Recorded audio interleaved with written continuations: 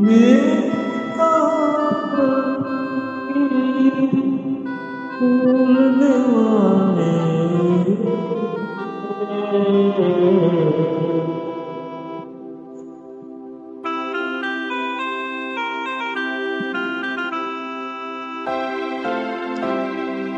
मेरी कहानी भूलने वाले तेरा जहां कहानी।